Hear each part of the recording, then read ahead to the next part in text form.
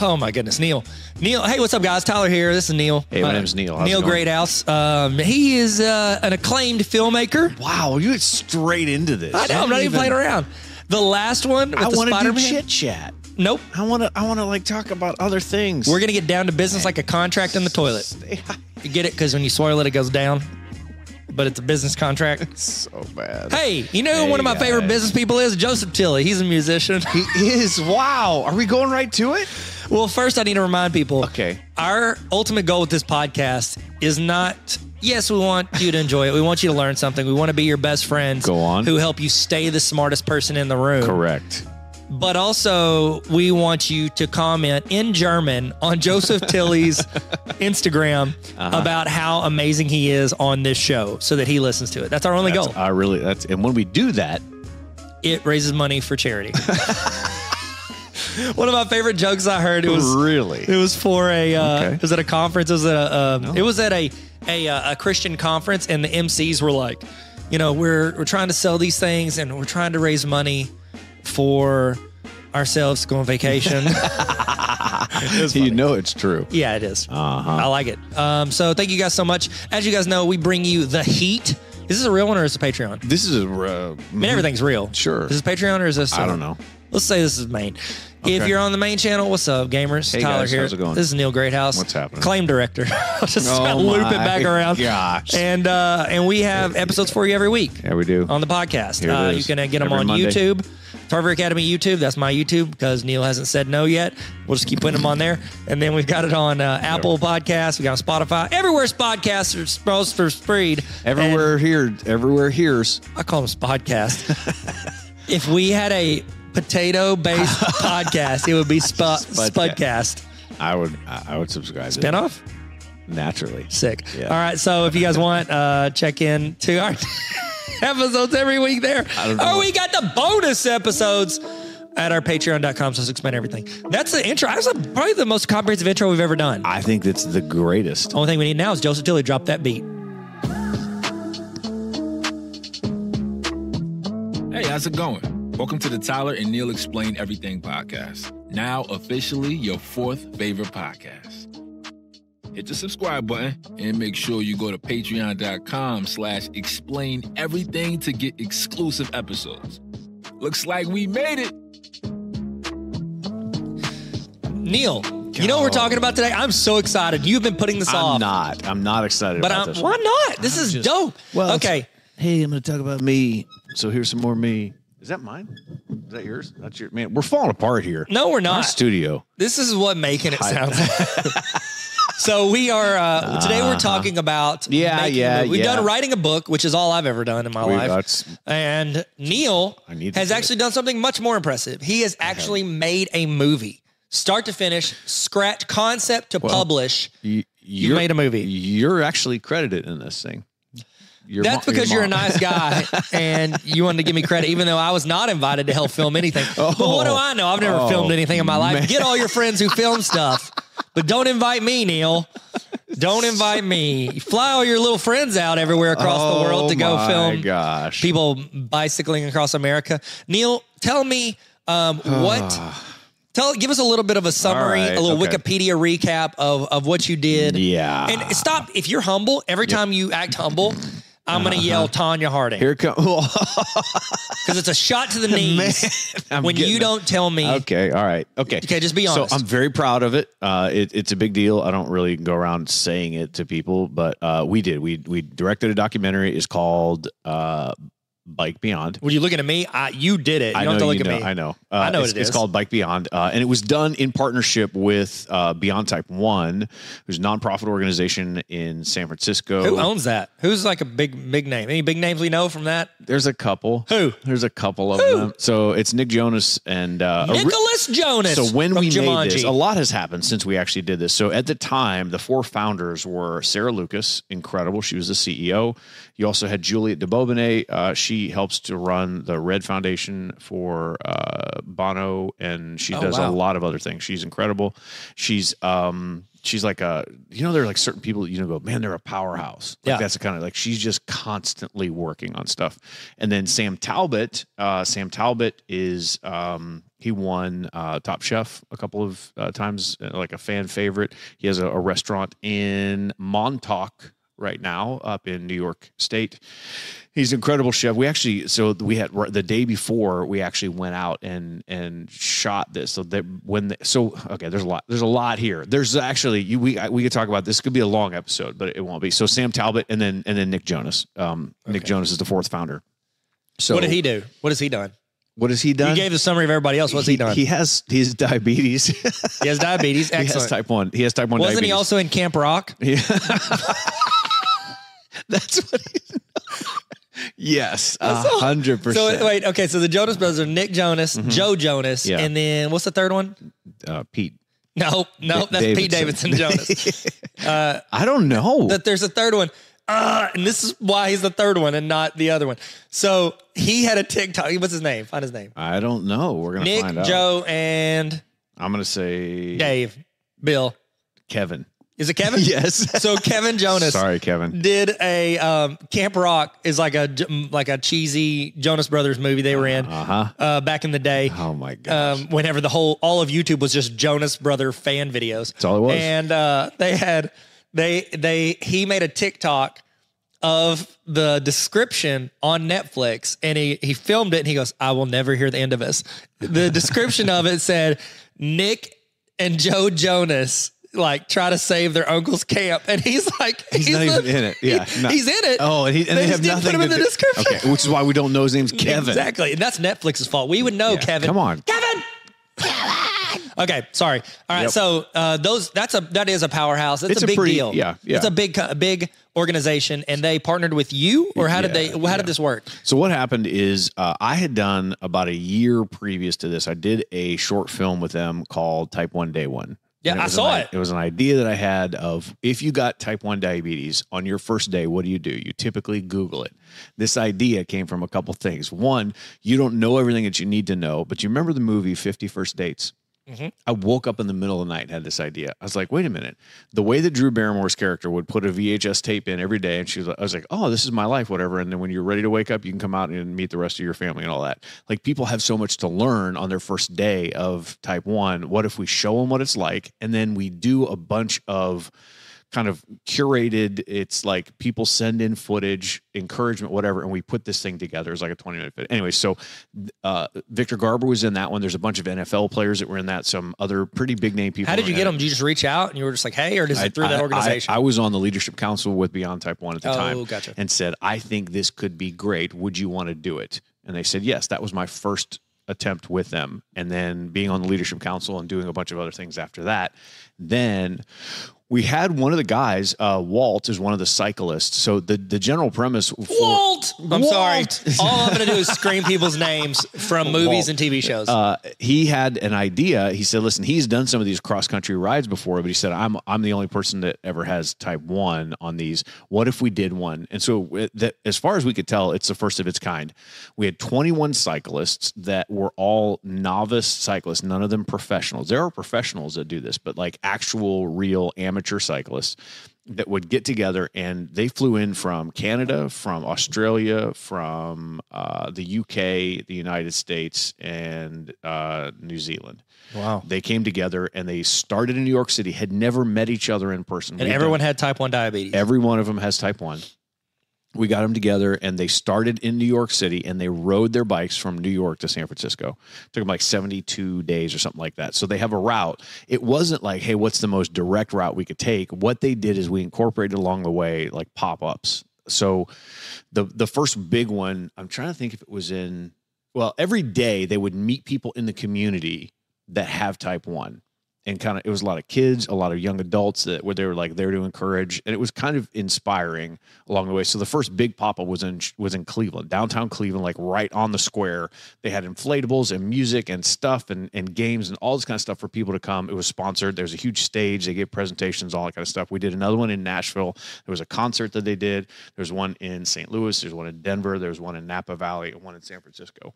So they, there were big events that they were a part of all the way across the country. So the route route that they had to take wasn't like Straight across. yeah. yeah, because you said Cleveland and then Nashville. I was like, Nashville's a little it- low. Yeah, it's it's definitely all over the place. So they they they got some miles. So forty two hundred miles uh, that they Dang. cycled, which is a lot. So the How long did it take them? Uh, it's like seventy some days. It was two two two and a half months. Uh, so they started in June, finished in, in August, and it was ridiculous hot too. So it was it was a lot. So um, the the idea was that they would do that, and I was on some of the first phone calls, and Sarah, who was the CEO at the time, she said, "Listen, what if we were to actually like could we could we do something with social media with this?" And I said, "What if we did one better?" And then we started talking about and all these people. It was So the idea happened. They were going to do this before they were going to make a movie of it. Right. Yes. Okay. I said, what if we could put all this together and inspire people after the fact? Because if you're only doing it during the ride, like we always say, this document don't create. Like actually, we put this thing together. Could we make a movie out of it? So that's when we started saying, okay, let's actually let's do this. Now this is a lot because you're talking you're talking about following them from. I mean, that's a long, and I already have another full time job. Yeah. which was kind enough to let me go out and film this. Yeah. We had people from all over the country that jumped in and helped us film. We also had people from here that helped us film. I've lost track of how many people. Did I help you film? Um, I don't know, Tyler. I'm sorry. Oh, I'll answer it. No, I didn't.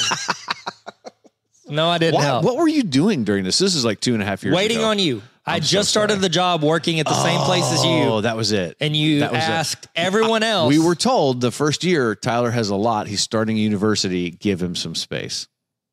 And I listened to him. unacceptable.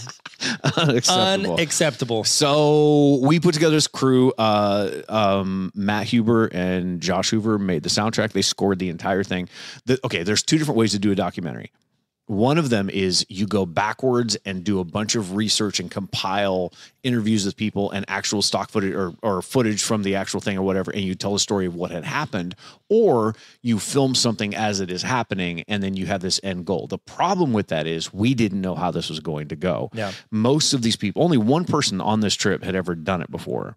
So all these other people, they were practicing uh, there was a guy, so Sid Sharma, he was in the UK. It was snowing and he was practicing riding his bike. Two or three of these people were in Canada, snowing, riding their bike, practicing, getting ready for this thing. Did you have like requirements? Did you tell them like you have to reach this point Oh, yeah. by this? Okay. Yes. Yeah. They Well, had, they had really strict requirements because you, what you don't want to do is you get out there and you go, well, I actually, can't make it. I don't, I, yeah. I Kind of like whenever I rode that 100 mile race in Texas, but I'd only ever ridden 30 Oh. miles max. Are you serious? Yeah, I've told you that. Yeah, but I didn't know you'd only done 30. That was the most I'd ever ridden. Oh, and gosh. I, I used to ride every morning, but we'd only do like 20 or 30 miles in Little Rock. And then we went to Texas and did that Oh. hotter than H. You did it. 100. Yeah. Oh, it's yeah, brutal. My entire body shut down by mile 65. So I would not have been a candidate. One, I don't have type 1 diabetes. Two, I can't do it. Yeah. I would have, yeah. my body it's would have too shut much. down. It's too much. By the end, I'd have been fine though. So what we did, this is hilarious. Like I, I- you, you know what the the hero's journey is, the hero's arc. Yeah. Uh, so if you were to really do that and say, how do we actually tell this story of what they have to, and we mapped it out, had it on a massive black board where it was sticky notes, and I had yellow ones were for locations, green ones for were for emotions, blue ones for for certain people, and we started plotting out from left to right where we think this thing would actually go. Yeah. And that was my presentation to them. I said, listen, here's, I think this thing could go here. But in my head, I said, I think by Utah, they're going to hit their all time low. Yeah. By the time they get there. And I was sadly mistaken. It hit so much sooner than Oh, I bet. It it's was- like it was two bad. months Yeah. of just every day, what, riding like 100 miles a day? Yeah, every day they would ride between it was about fifty to hundred miles a day, and uh, they had to drive the vans. They had to actually they were their But own. who were driving the vans? So what they would do is they would rotate through. One of the people, it was their van day. They would get off the bike and drive the van, and they're the support van to help them set up the food, the, the water stops, the, all this kind of stuff. So on the East Coast, it wasn't as bad. When you get into the middle of the country, is when, and honestly, Kansas was probably one of the worst ones because of the the the wind. oh, yeah, because there's no mountains again. Right, It's like Utah and. Nevada were absolutely brutal. Yeah. You- and you, I, you just don't think like that. You think that it's going to be flat, whatever. It's not. It was it was rough and and dry. Colorado, the Rockies was the point where that's why I thought they would actually fall apart. The Rockies was the biggest challenge. I mean, they, you Is know, it because of the going up the hills? Yes, it was insane. It's not like there's not an easy route to No. ride. You can't go around them. It would have taken an extra. They, I think they said it was about two to three weeks to go around the Rockies to be able Whoa. to, and you can't do it. Yeah. So you had to go through them, and they went right through Denver and and all the way. I mean, every it was is insane. So those days they're not going as far, but the um, the elevation is just insane. Oh yeah, they got to slow down there, or they're- it'll kill them. Yeah. So what we did is we said, okay, we're going to have people that will film them for four days at a time. Uh, here three days at a time. Here five five sorry five days five days at a time. It's my microphone. It's my microphone. They would film them at different different segments, but we actually got sponsored. We actually got sponsored by GoPro. Oh, nice. So GoPro provided all of the cameras, all the gear, and we had our after party at their GoPro headquarters. Did you reach out to them, or did they reach out to you? Uh, we reached out to them. Well, I guess they. How could they reach out to you? They didn't know you were doing. The Yeah, they didn't know we were doing it. Okay, Yeah, and but you that reached was out and said, "This is because what we're doing." That wasn't me. That was Beyond Type One. Oh, so great. Sarah Lucas and their team were incredible with this. But they also so specialized bikes. They Yeah. made their bikes custom for all of these guys. The problem, and they didn't know this, we had uh, we had different food companies that sponsored. We had a bunch of different like um, people sent in so uh, the amount of food and drinks that you consume on this thing. Oh, is, they're burning so many calories. full of. So it was like these these food companies, these protein bars, and and you had people that were celiac, you had uh, people that were gluten free, you had people that were uh, vegan, you had people, and they all have type one diabetes. So you're creating different meals for everybody. The people that that provided the bikes, they provided them up to a certain point, and we didn't really know that going into it. Wait, so, that like you had to return the bikes up to a certain. these bikes were like six grand a piece. yeah. And what they were going to do is after it was over, they were going to say, if you want them, you have to pay. It was almost like fifteen hundred or twelve hundred dollars. Still a good deal. uh, uh, which is still a great deal. But these guys all work regular jobs. They took off two and a half or three months of their life to go do Yeah. this. We had a guy who was, uh, and we didn't find out until Napa, and it was incredible. He was there, one of the sponsors for the foods that was that were there, and he's he's it just emotional moment. He said, "Listen, I'll I'll pay off all the bikes." Whoa. So he bought the bikes for everybody at one of the the uh, one of the stops in Napa. That's So, awesome. Yeah, it was it was it, it made the movie. Like we actually got it to put it in the movie because it was and we didn't know it was happening. And it was getting super dark. There, everybody was like there. It was like this huge party. I mean, it was incredible. It was Yeah. at this uh, at a winery. It was gorgeous out. It was beautiful. People had come from all over the country to be there to celebrate just because they had one more day after Napa. They were going one more day. Mm, Yep, one more day to actually get to San Fran. Yeah. So that was like their hey, you're almost there celebration. And then he just the said, penultimate episode. yeah. And we got to that spot and we had cameras that were off the side. We'd already captured most of it. And all of a sudden, somebody said, Hey, I, I think this guy's going to do this. I was like, What? And so Thom Scher, who actually was, well, the CEO for a while as well at Beyond Type One, he made that announcement. We barely got cameras and mics up for that moment. I remember that moment in It the- was in the movie. So scary. Yeah, that was tricky. So we we mapped this thing out, said we think this is what the route is going to be like, and let's go out and capture this. So GoPro sponsored it. So we had we went to New York City. They were still putting their bikes together. This is the first time any of these riders have actually met each other in person. And they're there. About They spent like two three days. each other. Yeah, I mean every every waking moment together. Sorry, I'm trying to hold it. So And staring at each other's compression shorts, riding down the road I mean, it was every like day. every day. Every Yeah. day. they had to learn how to ride in teams. It Yeah. was very difficult. It's not super easy. So we taught them how to use the GoPros, all the mounts, all the clamps, everything, and they recorded. So we have That's um, so much footage, bro. I think all told, after this thing is all said and done, we have 72 terabytes. That is absolutely from- insane. It's too much. What do you still have all of It's it? It's way too much. It's stacked in in hard drives. Uh, yeah. So Beyond Type One has them, and I have them. Um, yeah, it was kind of wild. So the amount of that's the thing too is you're trying to get the footage off the cameras every time you're with them. So we would give them these GoPros and have them film their themselves, their emotional moments and all that kind of stuff, and then we would have to get that uh, offload every bit of that footage while we were there with them for two or three days while cycling through new Go- GoPros and, and cards to give them. It was it was tricky. and you're just trying to like cut through. Like I'm assuming, like while you were doing it, you're trying to film it, but then also you would kind of like to like, okay, I need to like, you know, either like figure out a story and film and lean into that, but also you're probably wanting to chop down all that footage. Oh, yeah. That's insane amount of footage, Neil. It is a lot. So we did interviews with them every time we got together. So you're setting up cameras to get interviews. So we filmed in each one of these places. We, like in St. Louis, it was nuts. So the amount of permits you have to get to shoot something like this. Let me. I wrote down. Hang on, where you had to get permits from. So you had to get permits to film on some of the public roads on the New York Ferry in Zion National Park, the Golden Gate Bridge. There was a. How uh, far in advance did you have to do that? Like you had to plan ahead this Oh, yeah. entire route, Yeah. call every single city, make sure the it was it was a lot of work. That seems But insane. That's where Beyond Type One staff did an incredible job. Oh, They helped set up these routes ahead of time. So every morning when these cyclists would wake up, they would get their route for that next day. They would see their elevation, where they're going to go, the directions. They all we all used um, Life 360. So we could track where every one of them were. They could see where the the water stops are going to be and all of that. They would get into the hotel, they would take a shower, and then they would have to go out and do a meet and greet with people like in the community who were like there. So uh, there's there was a, a town um, in the middle of nowhere out west, and there was this one little boy. He's the only kid in his whole town that diabetes. that with diabetes, little little tiny kid, and they went out and saw him, and uh, and then he showed up at the end. He came to Oh, San Francisco. awesome. His fam- family surprised him, and he was like little three, like four or five year old kid. Um, the uh, the the work filming it was actually the least amount of work. Oh, that because it's in real time. But Yeah. it, your your time expands when you've got what? How many people were there? Seventeen? No, how many? Cyclists, Yeah. twenty one. Twenty one people right, who are all filming pretty much the whole time. right, And you're Um, pulling what five seconds maybe from each Right. at the most. Yeah, and you're trying to figure day? out like which wh- what part makes it, what part doesn't. Because You there's stories you can't tell. Rubbing through all right. You could make so during this. I actually made the suggestion. I said this could be a ten part series. Yeah. We could pitch this to Netflix, and instead of saying, "Hey, this is going to be one," we'll give you this whole thing, and it will give us more time to develop those stories because they each had a story. Did we, you do that? Did y'all pitch it? We pitched. It didn't go. Oh man. It didn't go. It, well, it was honestly. I think post pandemic it would go. Yeah. Pre-pandemic, no. No. Uh, they're looking for content at Yeah. that point.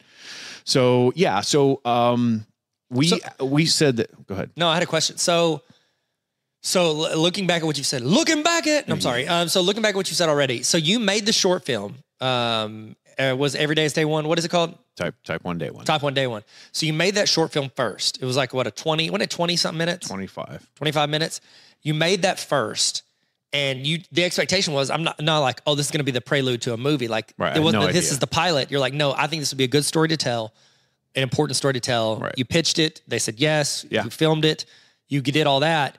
And then you, I mean, you were not waiting, but you were just living your life, working, doing your thing, Right. being a part of this leadership council. And then they, I'm assuming, approached you about doing social media for this guy's trip across the country. And you were like, hey, do you remember what we did there? What if we made, we did more? What if we made Yeah. it like you? It's not like, like what you hear so often from filmmakers is like everybody started out filming weddings or Right, doing right, skits right. or doing Yes. social media. Like Yes. they do something small, which leads to the next thing. Nobody's like, I want to make a movie. And then they go out and film a movie. Like it's like you make these other things Right. first and you build credibility and show that you can actually tell a story. You don't go out and film that first movie. your- No. your, big one. No, it, it's a process to get there. So if somebody wants to make a movie, like that's their ultimate goal. They need to go out and make They need to do everything they can on TikTok and Instagram and YouTube right now. right now. and that leads to this other. okay, It do stuff does. for free, do stuff for this. Right. Don't expect people to start paying you. it, so Sarah was the one who she's like Neil. I think we could genuinely do this. Now we got a lot of uh, um, resistance from other people in the process that were saying this might be irresponsible to do. Even these guys Because they could across get the country hurt. is right. Yeah. It's we took a lot of heat for that.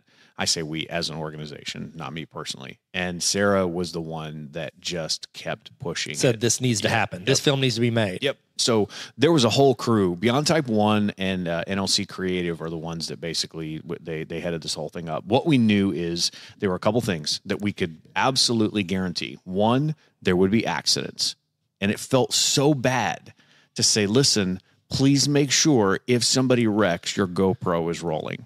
I Yeah. know that sounds awful, But you need the story. we have to get the footage. Like if we don't, it do, it doesn't it doesn't hold up. Yep. Um, and it happened a couple times. It happened actually quite a few times. Yeah. There were accidents. There's like somebody uh, got knocked off their bike. Uh, somebody actually got hit by a car. They're, they're slid down. I mean, it was bad. It was or came close to getting hit by a car. Um, we also knew that there would be high and low blood sugar moments, which is extremely dangerous when Yep. you're on a bike, especially if you're low. High is painful, low is dangerous. Isn't that right? They're both painful. Low is the most immediate danger. Okay, got so if you're dropping low and you're burning through way more calories, you're burning through that blood glucose. If you're not constantly fueling that, you're going to tank. Yeah. So that's very difficult. And we also thought there's a possibility that some of the team doesn't make it. And Like so, they're gonna which out of twenty one, how and- many didn't make yeah, it? Well, one one stop. What was his name? I'm not. You can't say his name. I can. Go watch it. It, it's uh, yeah, somebody doesn't make it, uh, and and he did his best. Um, he, he did his best. He he didn't. He definitely did not make it. I'm not judging him. Like I did one race. I don't have Oh, type it- one, and I, it I mean I finished, but I was almost. I literally almost died. So reality hit everybody in the face when they first started this one because they're like, "This is brutal. We're in the rain. We're in the cold. And we're on we're bike doing it again trails. we're do- it's every single day." Yeah. So we did a couple. I rode with them one day while I had other people film with us. I rode for a day just to get a feel for, hey, what is this actually like when you're out here? Oh, this is actually way trickier than what you think it is. So I spent one day riding, and then I spent the last seven or eight days with the team camping in a hotel um, at a at a campsite, uh, sleeping in like a church building. I mean, this is where they slept. Yeah. So it wasn't like hey they're they're in really nice Four-star hotels. hotels, No, oh gosh, no. It was it was really difficult. They were like sleeping on picnic benches in in like storage buildings. It was it was tough. You're you're eating the food that you're carrying with you, and and you're really doing it. So that was I say that was the easy part. There were nerve wracking, harrowing. We've lost two drones on this. That there's one in the redwood forest that we'll never get back. We don't know where that is. Uh, Justin Free and I were on that trip, and uh, we got some great footage. I don't know where that drone is. It's gone, and it's never coming back. And they let you film in the redwood forest. That's awesome. Uh, you can actually film from outside the redwood forest as long as it takes off there. Okay. But you, it's just you have to then land it outside the redwood Got forest. it. You, you can't actually take off. But from you guys landed it in park. the redwood forest, Which- right? so right now, all told, I have one there. We lost one in Colorado. That wasn't me. I didn't do that one. Uh, I have lost one, not on this trip, but we have one that's in the Arkansas River by the Clinton Library. Rest in peace. And I have one that's in the Amazon rainforest, in in the actual Amazon uh, River. So it's That's great. so hot. Yeah, it's great. So the the difficult part wasn't necessarily filming, although you have to have this mentality for a documentary. You capture everything. Oh, yeah. everything, and you're you don't get to stop filming they, hey, they're going to go over here and have dinner. I'm going to go. We'll film you guys doing that. Hey, Yep. so we and it got a little tedious because we're setting up times to record interviews with them, and they're dead tired. Yeah, they don't wanna do it. Don't They're want- finished. So we I had to let up on some of those. Where the team really hit its like lowest point was St. Louis. Uh, well, is it because that's where they found Nelly? He said it in a song. You can find May in St. Louis. May. I'm sorry. I'm the Uh, worst. Go ahead. No, the, uh, it's because some of the hills in uh, that they had gone through in Kentucky, in Tennessee, and all of that, getting over to St. Louis was just the the team starts to fall apart. Our crew was starting to get tired. Their legs were dead tired. Tensions were at an absolute all time high. Uh, it was it was really St. Louis feels like it'd be early in the trip, though, right? Going across the United States. You would think, yeah, yeah, it's a little bit early. So is it because they realize like we're not even halfway across Yeah. and we're like exhausted? Yeah, yeah. So they you you come together. Uh, and Right we, now we over did a, we did we did a big, we did a big pep talk pep talk for that. Um, the soundtrack was really interesting, don't you?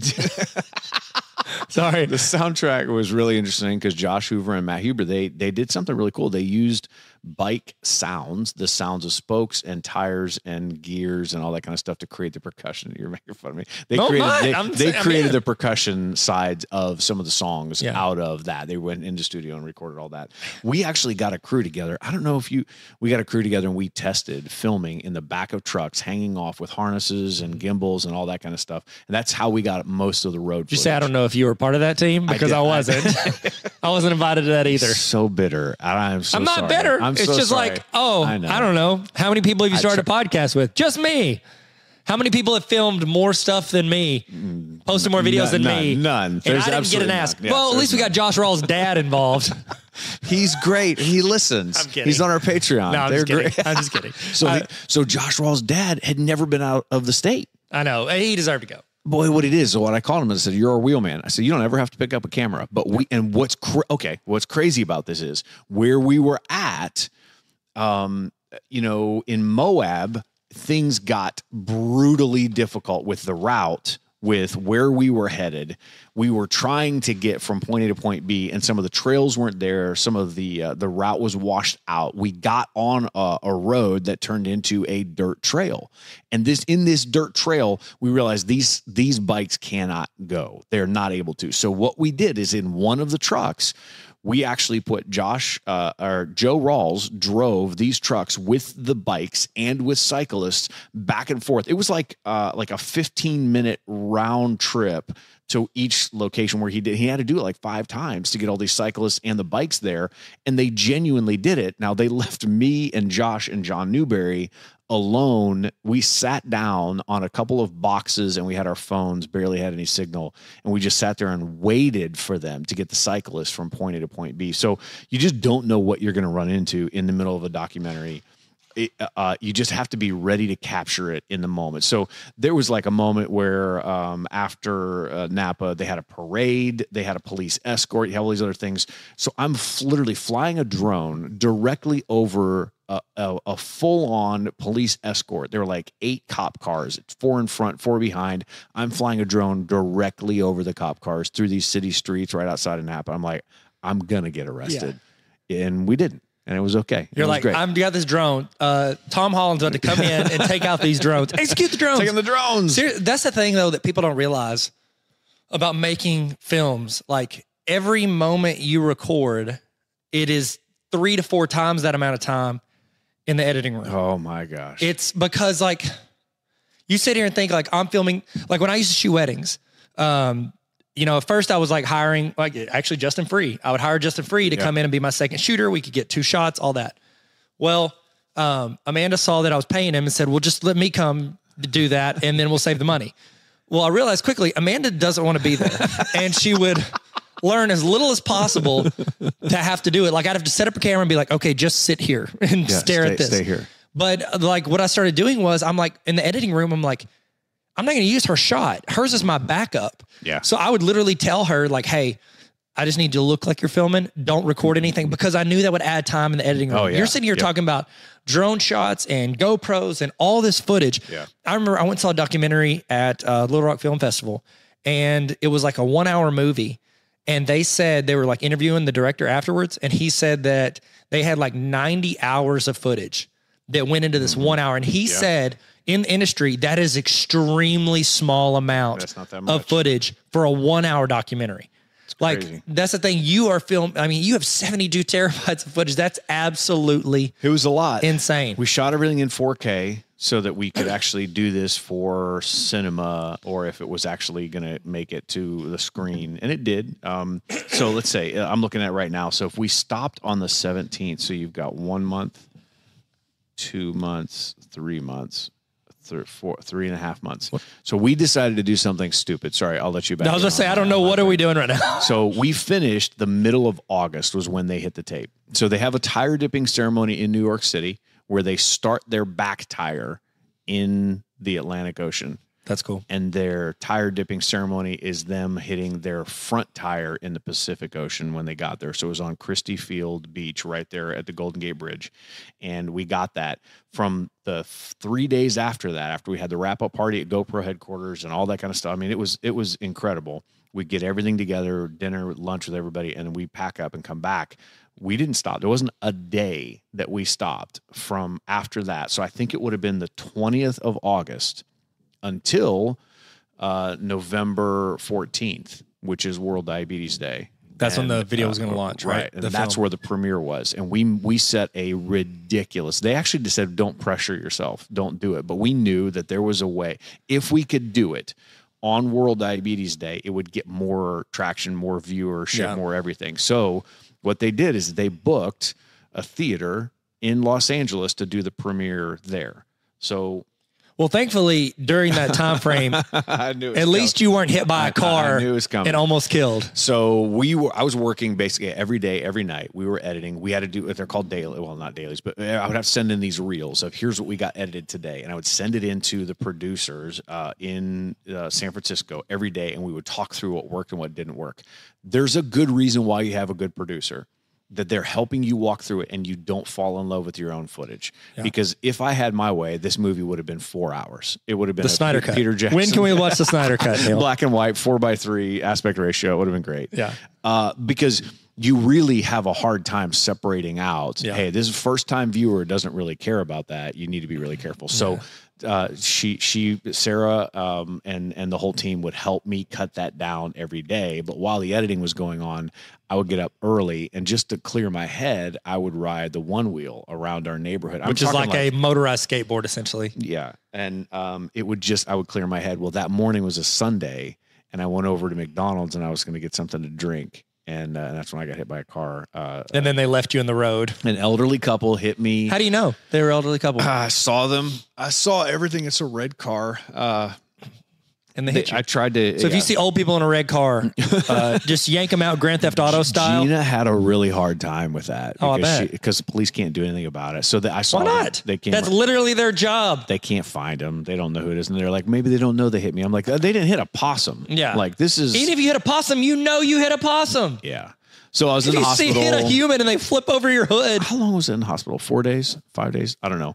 Anyways, I had a, I fractured my um my skull and I had a brain bleed. In the process of that, then my eyesight and my my uh my uh, Sense of smell. yeah, it was all gone. So um, I had to wear these prism lenses while I was editing. So Gina took me. This is ridiculous. I don't recommend this. The only time that I took off in this whole time was when I was in the hospital and the first day back, and I convinced Gina to drive me over to the edit bay so I could sit there and edit. So she would have to walk because I couldn't see stairs. I couldn't function. She would walk me up the spiral staircase and I would get in that edit room and I would edit all day long. And she would come back and get me uh, uh, like late on in the evening. She's like, "You're tired. You need to go back to bed." And I would just keep doing it. So our producers and everybody who was in charge are like, "Neil, you don't need to still make this. We can cancel it. We can cancel the." uh the premiere we'll, we'll just we'll we'll postpone it we'll push the theater out i mean they, they rented the whole theater it was incredible and i was like no i can't do that they're like no you can't it's, i don't know if i were going back now it was ridiculous like it, was, it was probably one of the dumbest things slash amazing things i've ever done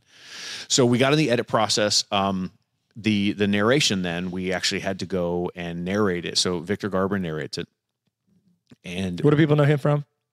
um He's been in a lot of stuff. They would know in- if they he- saw him. Oh yeah, he's in Titanic. He's in um uh oh my gosh, what's the uh, Legally Blonde? Uh, he's in Sicario. He's in Legends of Tomorrow. Yeah, he's in all these other. Yeah, he's, He's pretty much every um, probably good rich guy. yeah. Oh yeah. Oh, incredible. That's that's what I'm saying. And he's like theatrically. He's he's like uh, he does Broadway stuff as well, and he does TV. So what's hilarious about this? So most of the TV shoots I've actually got to work on. This is my fourth project with him. Uh, he he hates doing stuff for young crowds. So when he did Le- uh, is it Le- uh, Legally Le-? Legends of Tomorrow? Oh, it. It was the show on uh, the CW. Yeah. he plays like a guy, Firestorm, something like that. The guy turns into a fireball and, and he Uh. goes up, but he's like, I have to. He's like. Like he's so nice. He goes, Neil, I'm up on a, a rooftop in Vancouver in the middle of the night. It's raining, it's freezing. I'm in front of a green screen. I'm acting with a, a green tennis ball and a guy in a green suit over here. I don't even know who I'm acting with. I have a really hard time. I'm out there freezing, and then I, re- I record for like 30 seconds, and I go back into my trailer. He's like, my, it's just brutal. I just want to do something where I'm on a stage and I'm doing like Shakespeare and all this other stuff. And I was like, I, I, I give me the green screen with the guy that Yeah. you don't even know it's going to be. He just, he's like, I don't get it. I don't understand what they're doing with this. He's a, he's a really nice guy. Yeah. So we went back into New York City and we filmed, uh, uh, we, we brought the, the, it wasn't really a finished edit, but uh, what we brought was this is the actual movie, and you you line it out so he would actually record his dialogue over top of watching the screen while it's actually happening. There's like 80 different lines he has in there. What's funny about him is like I I to put the placeholders in it, I did my voice as a voiceover to hey, this is where this voiceover is going to go. Here's where the music is going. And we got almost all this stuff done. And we get there, and, and I'm like, okay, Victor, we're going to go through this. We got this whole crew is there. I mean, the biggest soundboard I've ever seen. They got this massive screen. He's in this booth. His voice sounds incredible. And I, so I'm trying to coach him, which is ridiculous. What in the world am I doing? it's directing. That's well- the job. what's tricky about it is uh, you know it's this back and forth balance of does he does he want this direction? Does he not? This is really his first time seeing this actual footage. He's heard me do it but i said okay. I said victor why don't we do this? I said um i said uh, i'll i'll give you a little bit of direction on these. He goes neil. He's like, calmed me down. He said i'll tell you what. I'll give you two. No i'll give you three takes of each one of these. If you don't like those, then you can direct me from there. And Yeah. I was like, deal. Okay, got it. And I say maybe 10 of them I had to redirect him on Out of how many? out of 80 plus. He got what I'm, I'm telling you, like, he didn't give me three of the same thing. He gave us three completely different takes of each one. I'm like, I don't know how you would say that and it oh there it is. He said it different. It was incredible. We added it in this is this is hilarious. I had him add in some things where he said things to my girls uh at the end. It was like hey these are all the these are all the lines from the movie. These are the things for the actual trailer. This is for some of the promotional stuff. He and i filmed a, a video together and uh, just kind of promoting it. And then i said hey would you mind saying like hello to my girls? Because they were watching alias at the time and a couple other things. Yeah. and, he, and he did it. He was so nice about it. Um what's funny is How do you, I'm sorry. Go How do you not get him to record your voicemail? oh yeah oh Like- well This is the cell phone of Neil. his voice is incredible. Yeah. So uh, fast forward, actually, uh, about a year and a half later, uh, Sarah had to go to the hospital. I mean, emergency surgery at NYU. I actually ended up going in there, and we sat down in her room with a bunch of other producers, some pretty big name actors, and him, and we watched this thing on the uh, The movie? uh, yeah, the movie on her. j- Her hospital room at NYU had a, a TV bigger than what I have in my home. And it was incredible. So we pulled the cables out, we connected it over to the computer, and played it. And he said, "It's the weirdest thing to sit there and watch it with the guy who." And so we get to the end of it, and he goes, "Man, so many things I would have done different with my voice now, knowing that that's the way it all came out." I'm Yeah. like, "Good or bad?" He goes, "Just different." I'm like, "Okay, all right." What is Well, that that's mean?" the, I mean, that's the point of a director, though, right? Like, even with like as talented as he is, as experienced as he is, he doesn't know the scope of the movie. He doesn't know where the And story's going. It's not. He doesn't have to. That's the point of the director. People are like, the director's over. What do they do? Just sit there like Yeah, uh, they're talented. people. Like they're the ones that see the scope of all of it, and they're the ones that are trying to make this a unified piece Right, and not right. an SNL episode where it's just like these individual like things that don't match up. Like you have to match up, and that's the thing. Like, I, you know what? I was also um, I was the talent in a short film, Foot Trackers, uh, was a UCA student film. I love it. But that's the thing, like, and, and the director was incredible, but his specialty was like special effects and things like that. That's what he went into after. right. But he's trying to direct and write, and it's like I did not. He did not give me a picture of like this is going to tie in here or this is your mental. Like actually, he even told me different mentalities to have. Yeah. So I'm like, I look like I have like different personalities throughout the film because it's like I'm going in after three hours of waiting on them to set up lighting. I go in and I say, "You dig," and they're like, like. No, you dig. You dig. Okay, great. Like you dig. You dig. Like, how do you want me to hit You this? dig. You dig. Like, I don't know. Need to dig. It, it's really tricky, when, and especially too. We need to dig. I got it. Got it. We gotta. We Uh, gotta cook. we gotta cook. What's funny about that is, especially most of these things are filmed out of sequence. Yeah. And you don't know. You need to go. What did we just come out of? What are we going into? So I can connect these dots. So Yes, that's where that's where you go wrong in a lot of movies. Exactly. And that's what it felt like. It felt like I was just like piecing together Yep. different things. And a good director, I think, will say, okay, remember, you're coming out of this emotion. Yeah. This is what you know. This is what you don't know. Because you know the whole film. You've read the script. Right, Like, right. you're trying to sit there and imagine that as a trained actor. As a trained Victor actor. Garber and yeah. I. Yeah, Victor. Um, uh, we we had a lot of fun filming it. The the actual edit and all that kind of stuff came together, and then what ended up happening is, this, so the producers are the real people of power in this whole thing. It's not the director. You think that it is, but I think we've said this before. The reason why the producer accepts the Oscar for Best Picture is because they've done the most work. They're the ones who secure financing. They're the ones who help get the actors. They're the ones who get the locations. They get all the extra stuff. They work with the execs, the, the all of that kind of stuff. The director is really just in charge of capturing and editing all this stuff together. Well, they're not even most of the time. You most directors don't edit their own film. Yeah, that is correct. Yeah, that's correct. they have an editor. so we had I, had- I had other help. I had people help with gra- motion graphics. I had other people help with little edits along the way and help piece things together. So I mean, I Mm-hmm. couldn't go through all of it. I also had other people help scrub through footage. The amount of time that it would have taken to actually Oh, gosh, go through all that, you can't. So you start cataloging all of that, and you're trying to put this story together that's a cohesive story. And we were able to get, um, you know, most of it in there. There- There's there's a lot on the cutting room floor for sure. I mean, yeah. If not, it's a like It's an, too. It, Yeah, it's like a two thousand hour Right, short it's, film. It's awful. Um, it's not a short film anymore. After you almost died, I offered to help film. edit. Did you really? yeah, you promptly ignored it. I don't remember. Well, you'd almost died. Um, so like, head injury. I just said, "Hey, bro, whatever you need, I'll help. You know, if you need me to help edit." I did not like whatever. well, that, was you almost died the same week my grandmother actually did die, Oh, and so like I was right. caught up in a lot of that stuff.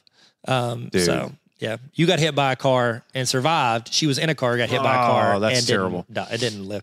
This took a weird turn. Yeah, I'm sorry, did. But I did okay. offer to help edit. Um, even, even, though I, don't remember a lot. Well, of it. you were also editing on Premiere, and I've only edited on Final Cut Pro. Um, Yeah. So I'm like, I can figure out how Yeah. to edit on an entire. So Tyler, you did get in the end credits. Uh, there's a, there's a line in there. What's interesting is you can put anything in the credits that you want, Nobody as long as the legal parts are in there. Yeah. So what we ended up doing is this is where the if you're going to make a, mil- a movie, I would say this: start off knowing where your um uh where your distribution is going to be.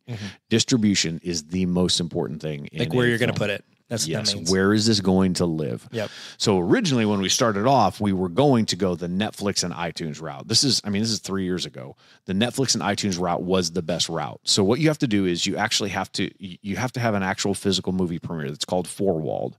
This is what I don't know. If, I think I've talked about this before. Yeah. Four walling means that if you want your movie to be up for any kind of awards or to go to film festivals, you have to have it. It has to play on a screen for a certain amount of time for a certain amount of days. Yeah. We were actually working on that. We did. We had the movie premiere in LA. It was incredible. Like it was wild. Like an actual movie poster up, people coming in, you know, to see it. Uh, we had like the the red carpet and all that kind of stuff afterwards. I still couldn't see very well at that one. It was. I mean, I still had those prism glasses on, so like one eye was over. What are you looking at? I could see out of both eyes. Just so you know, I could see out of both eyes. Not just. I wasn't blind in either of my eyes. So. I thought I was going to say it, but I did. I didn't want to ruin know, your I know you didn't. No, it didn't matter. So what ended up happening is we were caught up in the distribution side of this because so Nick Jonas gave us permission to use his songs in it, all of his everything in it. He put a lot of energy into this. He was in the movie. yeah, he's in it. Yeah. yeah, absolutely. And I, he was 100 percent for it. He actually wanted to ride for a day with the and his his uh his manager would not allow it. Well, it's not up to them. I know they're not the boss of him. They're, actually, they're they called are. managers, They're- not leaders. leaders grow, John Maxwell. managers Mar- maintain. Margaret and I, I rode a bicycle. Nick Jonas. He, we listened to his songs. I would have rather listened to the audiobook I of my book. Couldn't say on the bicycle. I had too much tanning. I. I got my tanning bed attached to the motorcycle. to the yes, yeah, yeah, a stationary Hagrid's bike. motorbike. That's so good. Uh, so what we ended up doing is we let it go for in-person premiere events all across the country and in Canada. And that all happened. Um, they actually had a couple of them that happened down in uh, in Australia as well. And um, we were trying to figure out because what happens is if you sell off the rights for this thing, let's say that, that well, we we were really really close to actually getting it for one week in like 600 screens across the U.S. Mm-hmm. If you do that, you then cannot put this on another platform later on. So it was like an either or. We knew what we could gain as far as revenue from it, but we also knew that it would it would kind of shortchange where we were going. Then we went into a big battle between do we do Netflix or we do uh, it was iTunes, and I think at the time maybe Amazon was just up and coming, and we were close. Almost got it on. Uh, this is hilarious. Uh, Delta Airlines uh, as one of the in-flight documentary Yes. movies that was on there, and we ended up saying no. We we wanted it to be on YouTube because more people would be able to see it in its Yeah. entirety. And it's what it really came down to is it was free. What cuts your market down is if somebody doesn't have. Well, I don't know anybody that doesn't have Netflix, but there is a large majority of people. So we got it translated into a bunch of different languages, all the subtitles and all that kind of stuff, and they're just we put it out there on YouTube. So, So if you want to see it, if you want Yeah. to watch the actual full film, Yeah. You can go to youtube.com, Y O U T U B E dot C O M. You can go there, yeah, yeah. www. dot- I'm just going to Go to YouTube and search Bike Beyond documentary. Correct? Is that the best way to search? in yeah, the- yeah. Search and Bike, then- Bike Beyond documentary. And when you do that, you're going to get two videos that look legit. Okay. You want to look at the length of the video. If it's about a minute and a half, two minutes, that's, a- the trailer. There's a trailer out there. Okay, but There's if you actually want to watch the actual film, it's right around an hour and Uh, it's an hour and a half exactly. half exactly. It's an hour and a half exactly. Is that with the credits? Yep. With everything. What about before movie trailers? Because if I show up late, Oh yeah, you're gonna be. You're gonna be. but you can watch it right now. I'd recommend it. It's better. I mean, honestly, they could have watched, you know, almost two thirds of it in the amount of time we've done this so podcast it, it actually it. did win. It, win, it won Best Feature Film at the at an LA Film Festival, um, and I, I, we were really proud of it. We tried to get into Sundance, and it didn't work Ugh. because That's on you, uh, Butch Cassidy. It was, and, and I was really frustrated by that. No, what it ended up happening is is there was too much of the Beyond Type One organization in it that they Oh. th- they thought it felt like it was more of like A promo. Yeah, Yeah, and it was. sense. It isn't, but they just they couldn't get past that. Yeah. So they said, um, Trash. You know, um, I filmed a feature length film once. what? It's true. It was called The Ultimate Movie, and it was about What? some friends who were trying to get a game together Why against their op- well because I never finished it. I tried to make it in one week, Re- shoot, oh my edit, gosh. and everything. And um, I had some technical difficulties with Final. It was Final Cut Pro Seven. Do you remember that? Yeah. Oh, yeah. So it was like garbage, um, and it took a long to render. Anytime you made any edits, that was like a long time to render because Yeah. I was doing something wrong. Anyways, and uh, shot the whole thing. it? Shot it in two days and we it's bad bro And, like it's it was Oh my i was literally making up the script on the spot i'm like are you guys gonna say this you're gonna do this you're gonna do this and it was about a guy who's in love with a girl and the only way to win her over is to defeat his arch nemesis I want to see and this. like this is the only like there's pieces there's there was like a clip from it that I put on I ended up putting on the internet. It was like I was like, you know what? I never get didn't get the movie done in time because of some that editing problem. I was gonna try to get into a film festival. And then I had that one part where it's like a face off between them and the and it's it's ridiculous. It's Ah. absolutely think of Laser Cats but a movie, but the plot is worse I'm here for it. and like before the final ultimate frisbee battle the, it's uh, there the guy the, the bad guy like there's the main guy which is me because of course you know whatever. Naturally. um i learned that from will smith. Always go by your name and be Yeah. the main guy. Well, there it is. and name it after yourself. And then the bad guy which is my friend jared he had his little squad behind him and his squad was all just like 10 year old kids and younger. And we made them look like the villains. It was me and my friends. And we we see them at the park and he starts making fun of me and this is this summarizes the whole movie. He starts making fun of me and i and like it's closing in the camera switching from him to me and i go stop collaborate and listen no, you didn't. ice is back with my brain and i say the entire song it's like three minutes long in the middle of the oh movie where i do the lines from ice ice baby in a talk What? to him and we slowly get closer and closer until i get into his face and then we go have an ultimate frisbee battle oh my God. it's the it's the worst movie ever I want to see this. Do you have the footage? Because we could edit this. I probably do, and no, we Find the shouldn't. footage, we can edit it. Because we there was chunks that we didn't get done that would have tied together the already garbage plot, and we filmed it in front of a green screen. I think it was me, like some with dolphins. It was completely absurd. I want to see this. no. I will Oh not. my and then we did a short film with my friend Knox, who is actually a really successful podcaster now, and he helped write it. It's called Checkmate, and uh, it was it's ridiculous as well. man. And we never did it. I don't finish things apparently. no, I, I, it's not easy to do. It, this takes so much time. Yeah. Well, the good thing for you is that there was accountability. Me was just me pushing myself to make these garbage Oh, I was, films. I was terrified we weren't going to hit the deadlines. yeah. That that would add a whole level of pressure. So like, yeah, when I signed up to do like whenever I um I pretty much like signed myself up to do 120 hours of like online training, like you know, three times, so like 360 hours, but you do 120, but you got to re-upload, redo, reschedule, Yeah, redescribe. And then you do that. Like the three months of filming that, like outside, like at night, I'm like, you know, eight to midnight, eight to one, you're Oh. like recording and editing and chopping it all together and putting it up. It's like it's so much pressure because you see that deadline right. and that's that was without me almost dying. And you know, I was like, I was stressed out, and I was like, I have to edit, shoot, like I got to fill in a gap of forty five minutes here for this day, and an hour and a half here, and I got to get this. Like I don't know enough to fill three hours worth of content on this. I need to find somebody to. It was it was a lot of pressure, and so it's like if you're doing this. Yes, you need deadlines because that pushes you to get it done. You don't end up with that garbage movie never making it, which is probably for the best. Um, and see it. but you've got like you need to have deadlines. You need to set storyboard. You need to have people to hold you accountable, other eyes, producers to look over it, Yeah. to make sure because you do. You fall in love with your footage, and so it's like you don't want to. cut. It's like Laser Cats, the one that we made that I wanted to be 15 like, minutes long. You know, like how about we get it under seven? well, no, you know. actually, I had it at seven and a half. You got it to five. Um, but you can tell which one I put on YouTube. the director's. I actually titled it Director's Cut. That's hilarious. Uh, but yeah, that's the thing. Like I would set deadlines and then also just talk to Neil. He'll produce your movie. we'll help for a we'll- hefty fee. We'll help it. Oh yeah, yeah. We need money. wanna- Patreon.com so explain everything.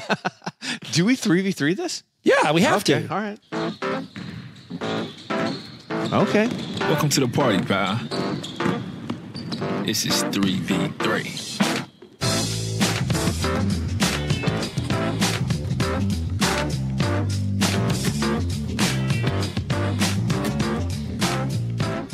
Okay. Three people. Yeah. You're making a movie. I don't care what that movie is. Okay. You have three people that you can have as your actors in it. Okay. Who do you want? Christopher Nolan in space. He's my first oh, actor. Oh, yeah, naturally. Okay. But he's filming it, but it's actor. filming him filming okay. it. Okay. Okay. It's like Bulworth. no, no, not Bulworth. What is the one with Eddie Murphy? Bulworth's the one with the politician. What's the one with Eddie? Bulletproof. Um, not Bulletproof. That's uh, Adam Sandler.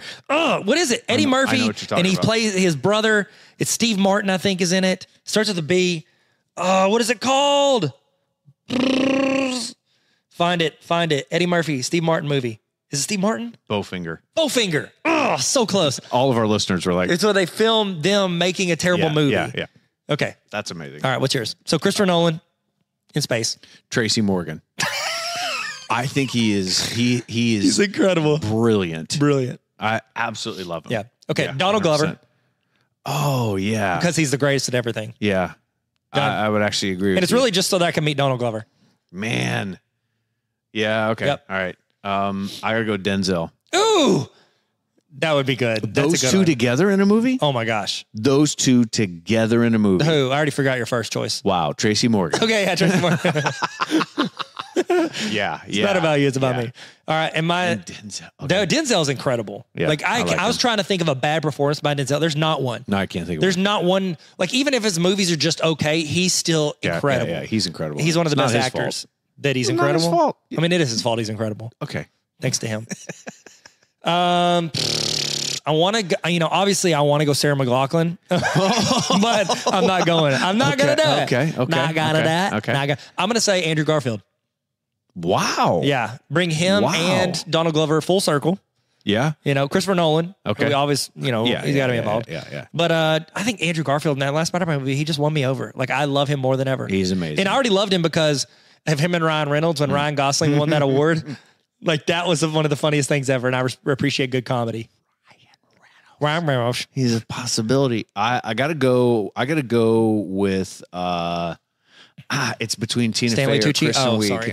uh, I'm gonna say Tina Fey Tina Fey. Ugh. Yeah, there's no women in my movie. because she terrible. can she can write and act. Oh, gosh. and that's that that's uh that's it. yeah, so good. All right. So do we want to do we want to um, Rocket? See if it'll rock. Neither of us picked The Rock. I know. ne- It's understood. He's in it. it's understood. The question on everyone's mind will it rock? The answer is probably yes. No. Yeah. Would this movie be any Would better? Bike Beyond be better if The Rock was in it? I mean, what part does he play? He's the guy that gets kicked off halfway. but then when you guys are walking and the music's playing, they're about to dip it in there. He comes out of the water like an Uh, ogre. yeah, like a kraken, and he's dressed as Shrek, and he starts ripping your tires off, bashing people in the head. Oh my god, That'd be sick. And Neil's like, "Cut, cut." He's like, "Cut this," and he rips off his cast. Oh my like- I don't know why I had a cast yeah, on, he a but he's cast. dressed as Shrek. He has a too. cast. Yeah, okay. Shrek one, Shrek, Shrek two. two. He Okay. rips it off. Wow. Yeah. Naturally. So yeah, it's better. this makes perfect sense. It's the only. and he you- takes down the Golden Gate Bridge while he's doing it. Oh yeah, well yeah. He pulls the metal because he's Magneto. Yeah. Um. by the way, that was the only thing you did ask me. You were like, he, you showed me the end clip and you said, "How can we make this better?" And I actually gave some advice. And I don't know if you agree you did it or not. What was it? I think I might have said slow down. It felt like the moment went pretty fast. And I, was like, slow like down. slow down, be in this moment because it's almost like this the the culmination here. I want to feel that it's the culmination. So you did help. I mean, a lot of people want to give me full credit for it, but they say, here's the thing they say about me, Neil. The I'm like, Academy of Motion Pictures wants to give you. they gave me the it. Christopher Nolan and Space Award for assist. Yes, please. Yeah, I'm the John Stockton Award of assists for movies. Wow. That's a great name for the, the ending was. Uh, yeah, the ending was. Was, So hot. emotional. Yeah, well, The Rock dressed as Shrek too, I mean, how could you not? and Magneto. So that makes it better. and what if we could only if we could get Adele to help sing the soundtrack? for She it? pops out of the water. Hello. It's not. She's not singing it for The Rock. She pops out of the water as well. Yeah, well, she doesn't pop out of the water. She pops out of the rocks traps. Hello, whoop whoop. Hello. Wow. wow! This whole thing was very inf- information, It like was. uh, And then it took a informative turn. until now. Man. until the rock gets involved. Yep. Well, All right. Well, that's how you make apparently. a movie. That's how you make a What, movie. what would be your one piece of advice to anybody that want to make a movie? Start doing something today with what you have. Don't wait for the right gear. Don't wait for the right moment, the right opportunity. Go film something and post it today. Give yourself a today deadline. That's good. And my advice would be subscribe, patreon.com slash explain everything. I missed- I missed that opportunity. if I if I don't forget, I will post the okay on the Patreon, we'll post your the link to your video, like the full movie, patreon.com slash explain everything. We'll post Okay. a full movie, make it public because it's worth seeing. Um, but then we'll post my clip from my movie that never got made. Um, I'll post it in there as a private link. Only Patreon people can see it. And I'll, you know what I'll also do? I'll post the link to the short film I was in, Foot Trackers. Oh, please. Yeah. Okay. So we'll post all three of those unless I forget. That's amazing. We'll call it Movie Week I love it. with it. Tyler and Neil. I love it. Okay. I think it's this is gonna win. Movie. And then I'll post a link to my TED Talk. Thank y'all for coming. bye. Thanks for listening to the Explain Everything podcast. You can follow us on TikTok, Instagram, and YouTube at Explain Everything Podcast. We're on Spotify and Apple Podcasts, but you're already here. We love you. No, actually, we're in love with you. Thanks for coming to our TED Talk. Bye.